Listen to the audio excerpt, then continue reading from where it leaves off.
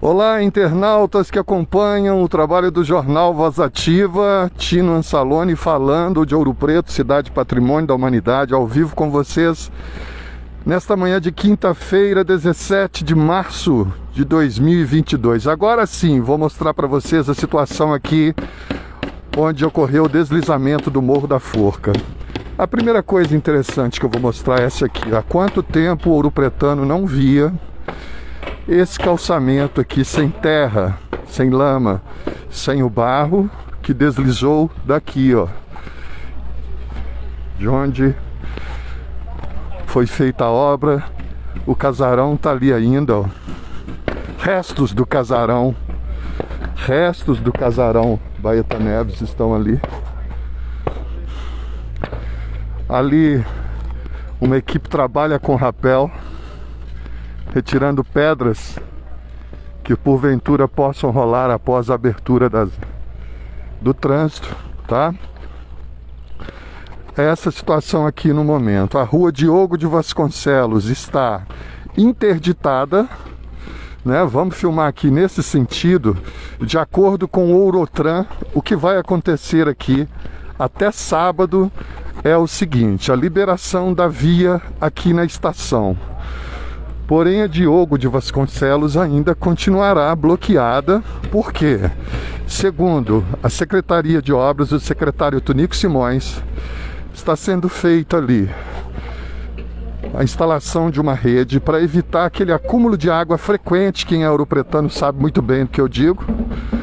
Um acúmulo de água frequente ali na rua em frente ao centro de convenções. Então está sendo feita a rede, essa rua continua interditada. Motoristas vão poder passar a partir de sábado, se não foram, forem antecipadas as finalizações das obras aqui, talvez sejam antecipadas pelo andar da carruagem. Os motoristas vão poder passar aqui por essa área, porém a rua Diogo de Vasconcelos continuará impedida. Importante avisar, assim que liberarem aqui, Avenida Vitorino Dias, que está aqui no meio da tela, onde está aquele motociclista com a sua garupa nesse momento, onde estão aqueles veículos. Avenida Vitorino Dias vai ser mão invertida para facilitar para o fluxo do trânsito. Aqui a Pacífico Homem vai ser a mão subindo, sentido escola de farmácia e aqui a Vitorino Dias vai ser mão invertida descendo do centro para o bairro Estação, ok? Esse será o fluxo assim que liberarem aqui essa área. Nós temos aí matérias publicadas no nosso site sobre a situação aqui, sobre a curva do vento que foi liberada ontem por volta de 16h50. Porém, um caminhão deu defeito na via lá às 18 horas, foi interrompida novamente. E a previsão era de liberação hoje pela manhã. Nós vamos observar ali se porventura o caminhão já saiu de lá. Se está aberta a via da Avenida Lima Júnior, não. O caminhão ainda está lá, trânsito ainda fechado na Avenida Lima Júnior. Vou mostrar para vocês daqui. Daqui é possível mostrar para vocês que o caminhão ainda se encontra lá. Vamos dar um zoom aqui na tela.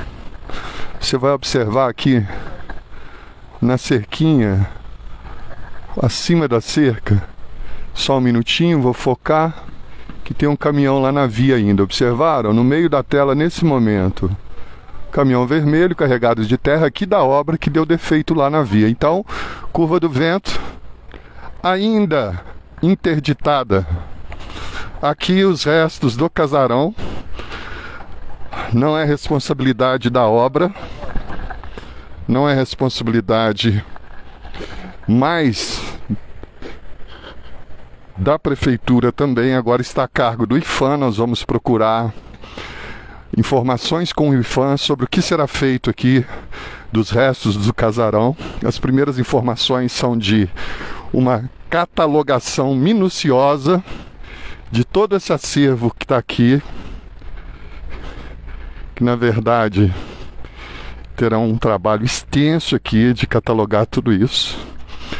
Como eu disse ali, trabalhadores com rapel retirando as pedras para evitar que pedras rolem aqui na via e que atinjam os transeuntes após a abertura da pista. Então é essa situação no momento aqui no bairro Estação. Deve voltar tudo ao normal até sábado.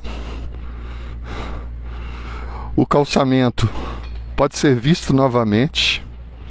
Há quanto tempo o Ouro Pretano não via o calçamento dessa região aqui descoberto assim, dessa maneira, limpo, sem o barro que escorreu ali do morro.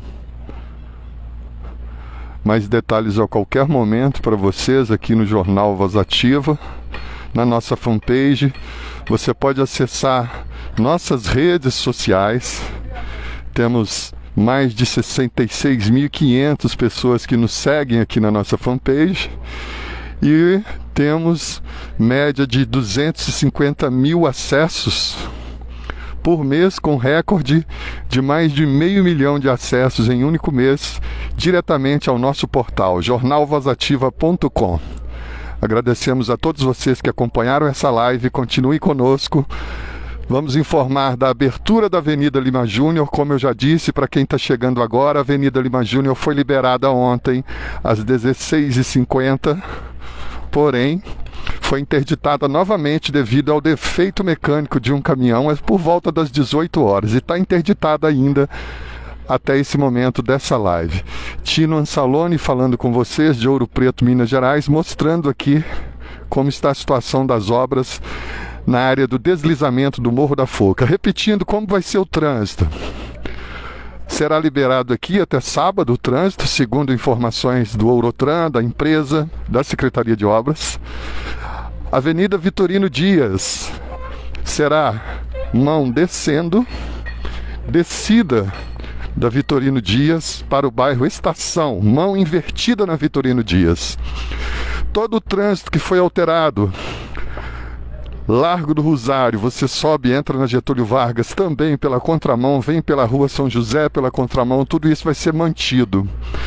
A Rua Diogo de Vasconcelos está em obras, por isso manterão as alterações no trânsito com a descida pela Vitorino Dias. Porém, o fluxo do trânsito vai desafogar em determinadas partes, como no bairro Barra, que geralmente em horário de pico os motoristas, passageiros de ônibus estão passando por uma demora tremenda, onde o trânsito se acumula ali. Combinado? Mais detalhes lá no jornalvozativa.com. Acompanhe conosco, Ouro Preto dia a dia está aqui. Jornal Voz Ativa, dever de informar de Ouro Preto para o mundo. Um abraço, obrigado.